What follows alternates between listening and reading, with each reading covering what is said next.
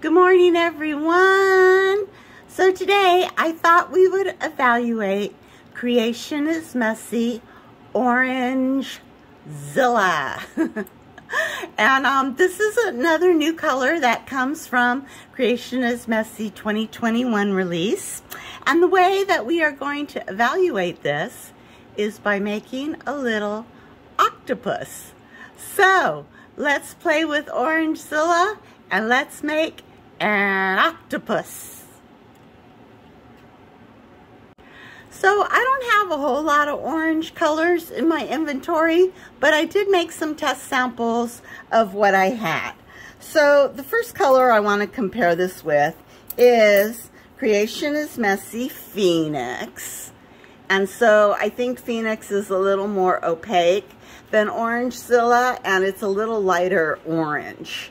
Um, Orangezilla, I think that Creation is Messy calls it a transparent, but it's definitely got some translucent properties as well. And when you really pile it up on the octopus, it, it looks kind of opaque. So a little bit of everything with Orangezilla, but that's Orangezilla with Phoenix. The next one I have, of course, is my Effetre orange, if I can get it out. And that is a pure opaque. So you can see that the color on the Effetre is a little more dense than the Orangezilla. Um, and maybe also a little lighter of the orange, except in the areas where I over-torched it and burned it right down here. I always do that with my Effetre colors. And then the final one I did was um, Effetre Carrot Red. And this is probably the closest that I could get with the Orangezilla as far as color goes. So there's a comparison with Effetre Carrot Red on the right and Orangezilla on the left. So we're going to use Orangezilla to make our octopus. I made some hand-pulled stringers of Orangezilla.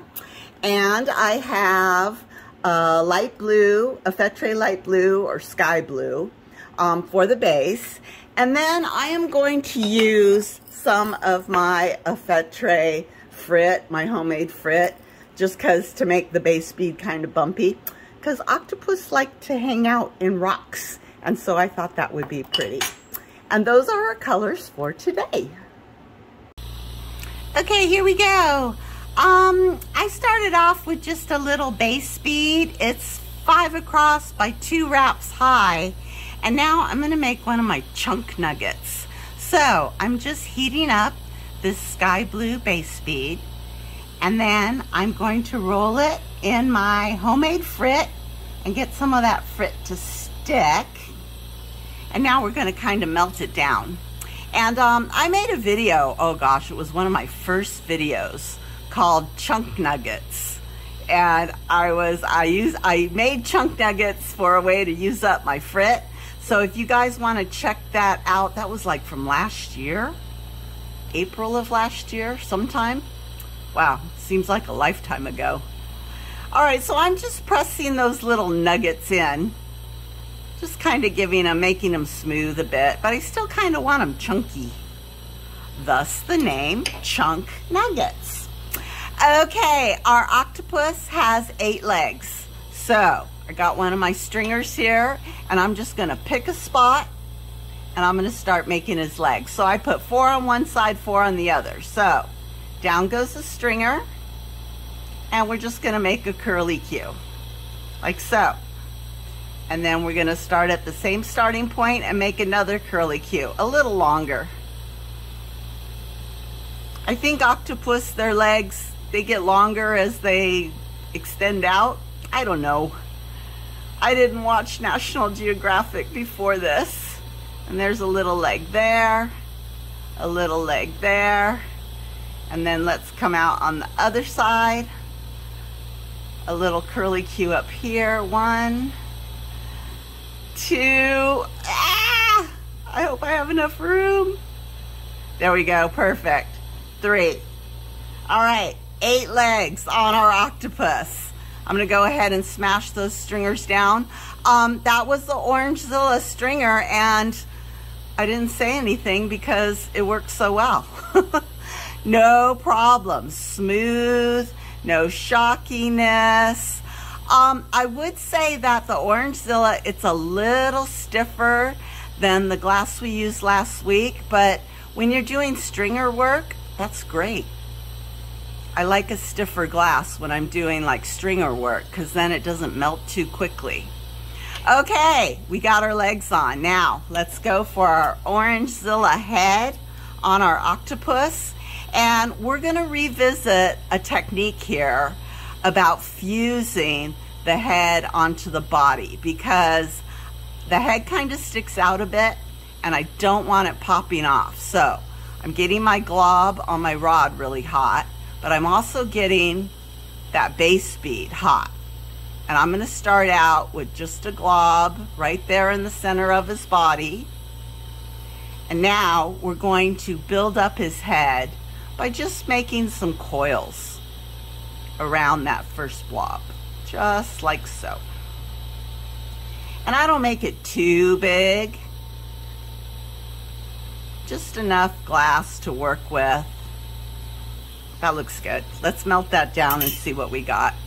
So I'm gonna melt all of that together and using gravity to try and get the octopus shape, which looks really good. I don't know, does the octopus have a shape? I think I'm overthinking it. All right, I like his head, just like that. Oh, let me zoom in and see if you can see this better.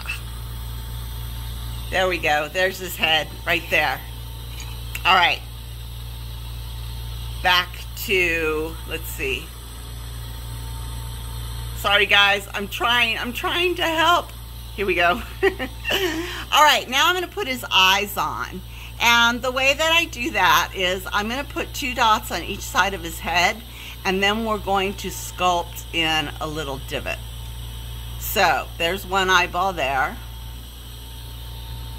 And then on the other side, another eyeball there. And then I've got my stylus. And I am just going to punch down a divot in his eye. Just like so. Oh, hope you can see that. Come on, little octopus, focus. All right, let's try the other side. Just punch in a little divot. Kind of move your stylus around a bit so you can get that divot kind of big. But I do want to frame his eye.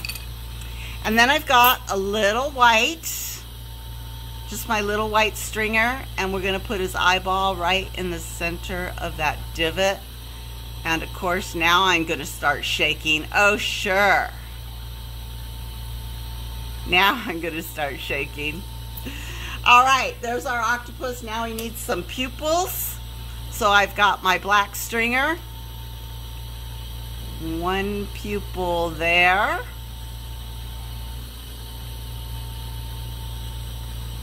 And then one pupil on the other side. Try to get it in the center. Let's go ahead and smash that pupil down a bit. Smash those eyeballs down a bit.